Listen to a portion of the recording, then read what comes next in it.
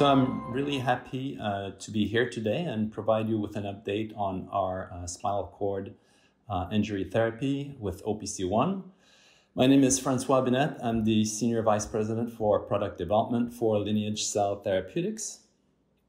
Um, let me get this out of the way quickly. Um, you know, we're a publicly traded company, so I'll be making forward-looking statement. Sure you've seen this in other presentations as well. So I direct you to our uh, website and our 10K filing if you want to learn more about this exciting area. Um, so what is Lineage? Uh, we're a regenerative medicine company, obviously. We're manufacturing off-the-shelf cell therapy from our platform of pluripotent stem cell to address severe disease and injury. So those diseases that do not have approved therapies or therapeutic solution right now. So what we're doing is relatively simple. You know, we're taking pluripotent stem cells and we're deriving from these pluripotent stem cell various lineages of various specialized cells. And what we're putting in people to treat their disease or injuries is that we're not actually injecting people with stem cells. We're really trying to replace uh, disease or dead tissue with specialized cells, the cell that have been damaged and hopefully provide a, a long term benefit. So, this is really a little bit different than treating symptoms. And this is really what attracted me to this area of regenerative medicine is the potentially the promise of bringing a cure to patient, at least providing a long term benefit. But that's easier said than done. Obviously, uh, you know, to be successful with, with uh, regenerative medicine, um, it's it's rather complex. Uh, not only do we need to understand well the biology of the stem cells, as well as the specialized cells that we are targeting.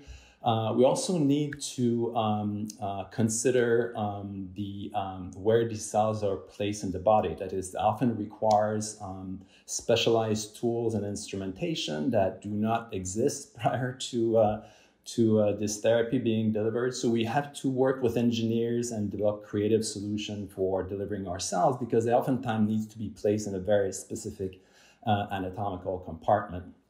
Moreover, we need to have a strong partnership with a surgeon that are um, uh, enabling with their new surgical procedure to place these cells in the right anatomical location using these new uh, these new tools and, and, devices. So it's a very exciting field. Obviously, uh, you get to interact with a lot of different people with a lot of different background, but it's it's com- it's complex. It's different, a little bit different than, uh, than traditional uh, drug or biologic development. So we have three, three ongoing programs at uh, Lineage. Uh, we have a retinal cell, uh, retinal pigment uh, epithelial cell for macular degeneration. We also have a dendritic cell program for um, uh, as cancer vaccine, which I'm not going to talk about. But today I'm going to talk about the oligodendrocyte program or the um, OPC1 program for spinal cord injury.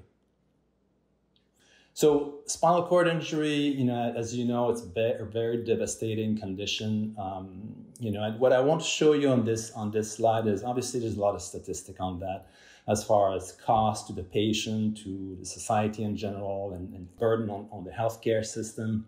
But what's important, I think, for you to understand is depending on where the injury is on the spine, it really affects the patient differently. That is, the, the higher, the closer the injury is to, uh, to the brain, the more severe or impactful the injury is going to be. So, alternatively, if it's lower on the spine or closer to the thoracic spine, it's less impactful, but there are fewer nerves that are involved um, in this area of the spine. But uh, the problem is that most of the injuries, because of trauma, they occur in the neck region or cervical region because that's the least protected area of the spine. So it, it, this is the area that's more mobile, obviously, as you know, and it's the least protected, um, you know, because the, the lower and, and the spine is protected by the torso and the rest of, of, of your body.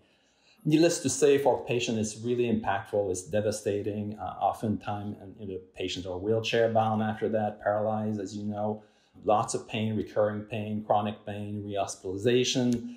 Oftentimes, these patients need to have uh, breathing assist as well, shortened life expectancy. So it's it's just dreadful for these patients. And it really became uh, very personal quickly for us at Lineage because um, although we acquired this program about uh, a year and a half ago when we merged with uh, a company called Asterias uh, Biotherapeutics that was developing this particular program, um, you know, just this year we had a, uh, a colleague of us, and, and, we're a small company, right? So, um, you know, colleagues for us are almost family members and, and friends. So a, a, a, colleague of us, um, one of his family member, actually got a spinal cord injury, just uh, an accident, and, and broke his neck. And uh, what's happening is that uh, it, you know we got really frustrated in some ways because although we might have had a therapy that could have benefited this uh, particular patient, um, we couldn't do anything because it happened that we uh, finished enrollment in our trial about two years ago. Uh, you know, for that I'm going to talk about a little bit, and and then we're not quite ready for the next stage trial, and I'm going to tell you a little bit about um, you know what we're doing in order to get ready for the next stage trial. So frustrating, obviously, for everybody. Um, uh, so it became very, as I said, personal to us as well. So what is uh, OPC1, um, you know, our, our, therapeutic candidate for spinal cord injury? So OPC1 is, is a preparation of oligodendrocyte. Uh, these cells, uh, what they do, they're not neurons or traditional nerve cell that you know that, that are part of the brain and the peripheral nervous system. They're the cells that are wrapping the nerves and the axon of these nerves to really uh, insulate these, uh, these axons to conduct uh, the electrical current or the communication between the brain and the periphery. So not only these cells, they allow or they accelerate this electrical current to communicate between the brain and the periphery, but also responsible to maintain good health of, of the neuron and, and the brain and the periphery. So they're very important cells to just maintain and, and improve the health of, of brain cells, if you will. So what we found is the cells that we can derive from pluripotent uh, stem cells that we derive into these specialized oligodendrocyte, they do what we were hoping that they would do. We have a lot of uh, you know, preclinical, uh, in vitro, and animal studies uh, that show that these cells can indeed uh, remyelinate uh, these axons, that is, they can recoat these, uh, these axon and the neuron and insulate them, but also involved in general health. They help in tissue remodeling, that is the help healing of this condition when you have an injury to the spine. Uh, they help bring new vasculature to the, to, to the injury site and they prevent scar formation. They also help neurons communicate between one another by, by uh, enhancing these neurite and these, these fibrils that communicate between the neurons. And more importantly, they improve uh, motor function. So this is what we're trying to do from a clinical perspective is improve uh, patients' uh, motor function. On this slide, what I want to show you is on, on, this table, you see on the left is, is a few um, function or uh, daily activities that people go through for in general life, right?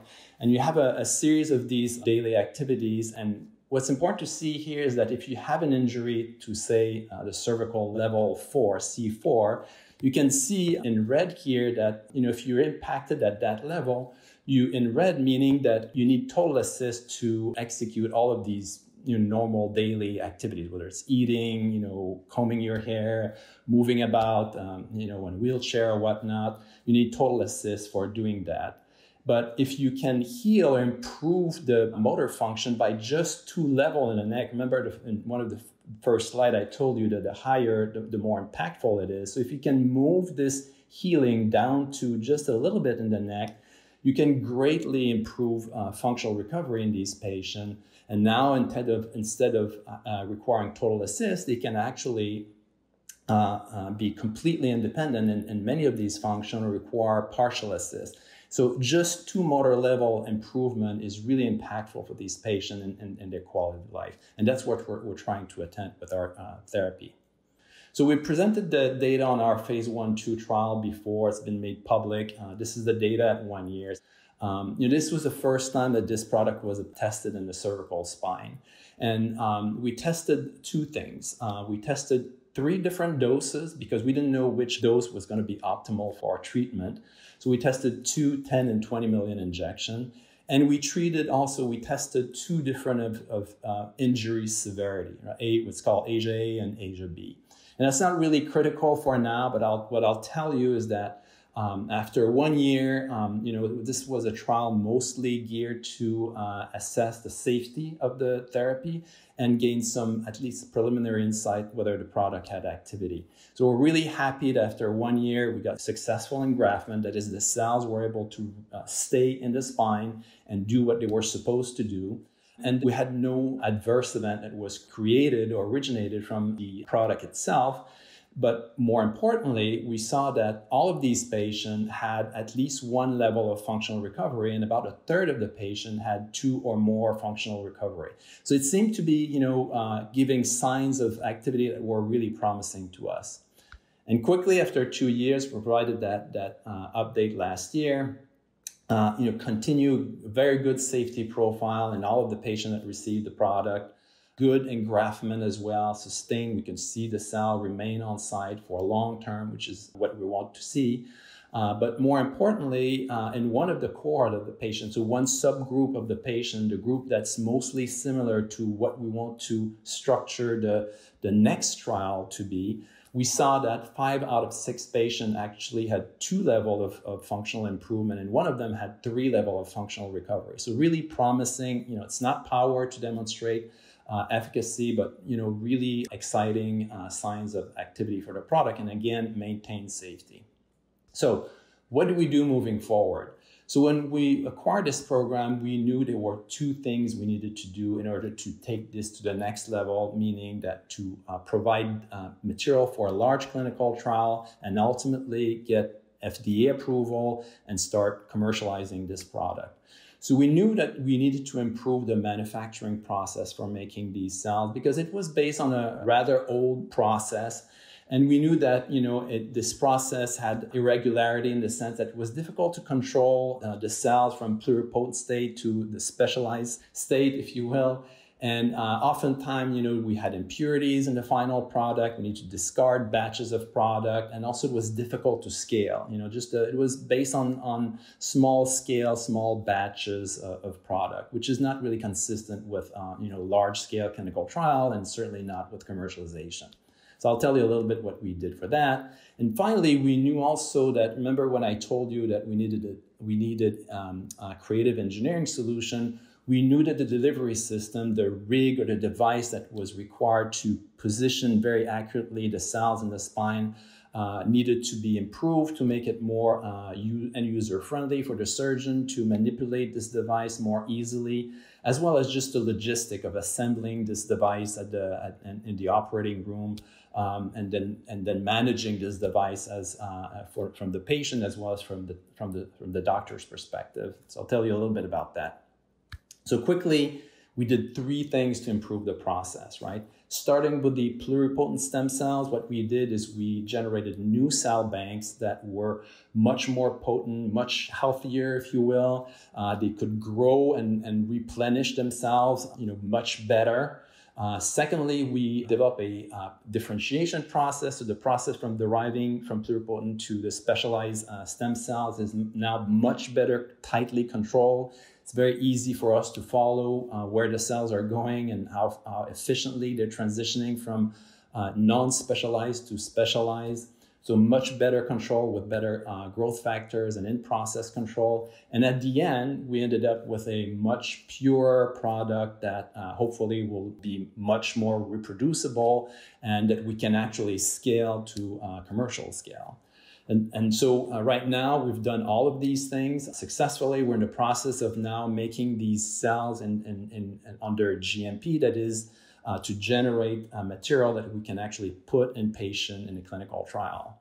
You know, the way to do that is, is we need to talk to FDA. As, as, you, as you know, we're a regulated uh, industry. So we're talking to FDA about our plan and, and how we want to introduce this process into our next clinical, uh, and, and to our next clinical trial. Similarly, for the delivery system, I've told you a little bit about some of the limitation of the initial uh, delivery device that we had. We tested new, uh, newer prototypes now that are much easier to use and much uh, easier to set up, uh, to sterilize and to distribute to the various site. Uh, so we tested a few, we did some feasibility testing, and, and likewise, uh, our process right now is we're trying to um, discuss with FDA about some of these changes and how we're going to introduce them to the next clinical stage so that we can do this safely and hopefully we can get um, uh, efficacy reading from our next trial. In conclusion, you know, from a development perspective, what we need to do now, we need to make clinical grade material under GMP uh, such that we can take this product and take it to the patient We need to qualify the, a, a new delivery device. That is, we need to uh, prove that uh, it's compatible with our cells, and the surgeon at the end can use this device uh, effectively. The process now is to work with FDA and have a conversation with them, explain to them what we want to do, and get their buy in. So we're hopeful that in the next few months, uh, we'll be able to move our much better product as well as a much better uh, delivery system to really facilitate the overall experience from the surgeon perspective all the way down to the patient with a much more robust product that hopefully will uh, provide a, a functional benefit to the patient. Thank you.